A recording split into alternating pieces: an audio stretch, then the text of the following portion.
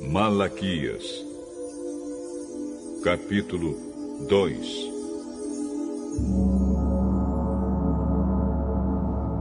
O Senhor Todo-Poderoso diz: Sacerdotes, eu estou falando com vocês. Se não obedecerem o meu mandamento e se não resolverem me honrar, então eu farei cair sobre vocês uma maldição e amaldiçoarei tudo o que vocês recebem pelo trabalho que fazem.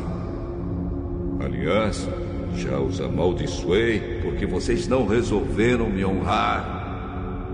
Vou castigar os seus filhos e esfregar na cara de vocês as fezes dos animais que vocês oferecem em sacrifício. E além disso, vocês serão levados para o lugar onde as fezes são jogadas. Assim vocês saberão que eu estou dando esta ordem a fim de que a minha aliança com os sacerdotes, os descendentes de Levi, não seja quebrado. Sou eu, o Senhor Todo-Poderoso, quem está falando. Na aliança que fiz com eles, eu lhes prometi vida e paz. Fiz o que tinha prometido para que eles me respeitassem. E de fato, eles me respeitaram e temeram. Ensinavam sempre o que era direito e nunca o que era errado. Viviam em paz comigo, faziam o que é certo e ajudaram muitos a deixarem o caminho da maldade.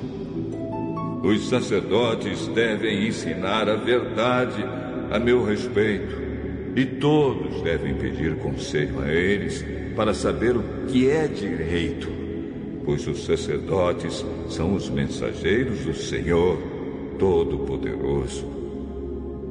Mas agora vocês, sacerdotes, estão saindo do caminho certo e os seus ensinamentos já fizeram muitas pessoas pecarem. Vocês estão quebrando a aliança que fiz com os sacerdotes. Por isso, eu vou fazer com que o povo os despreze e rejeite, pois vocês não me obedecem.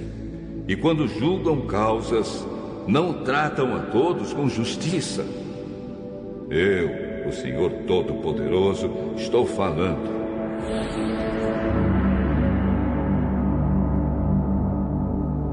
Não é verdade que todos temos o mesmo Pai? Não fomos todos criados pelo mesmo Deus?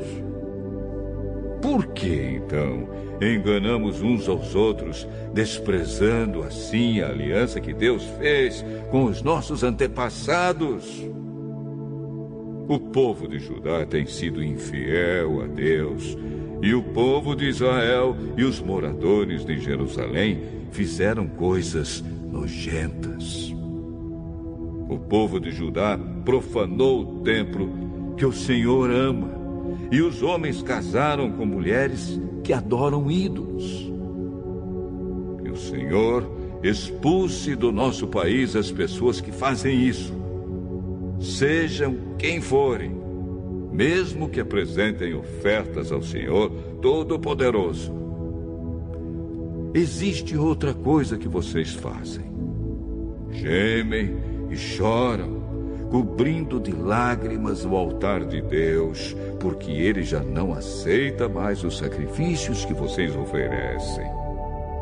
E cada um de vocês pergunta: por que é porque Deus sabe que você tem sido infiel à sua esposa, a mulher com quem casou quando era moço. Ela era sua companheira, mas você quebrou a promessa que fez na presença de Deus de que seria fiel a ela. Não é verdade que Deus criou um único ser, feito de carne e de espírito?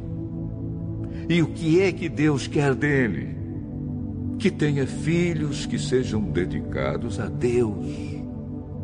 Portanto, Tenham cuidado para que nenhum de vocês seja infiel à sua mulher.